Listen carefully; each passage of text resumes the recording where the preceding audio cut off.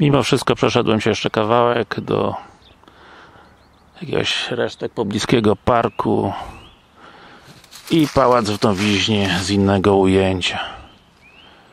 Czyli widzimy kościółek, który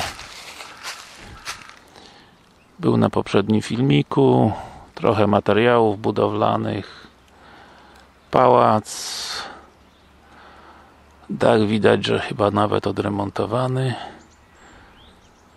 Niestety okna nie dały rady, chyba tutaj jakiś ciekawy balkon. A dla miłośników nowizny jeszcze mała panorama na okoliczne budynki. Widać, że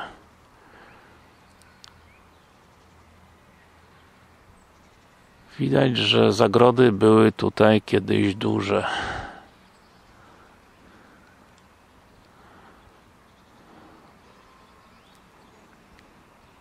No mam nadzieję, że będzie ładnie po odremontowaniu, chociaż niestety jakieś pęknięcie w murach, rysa w murze.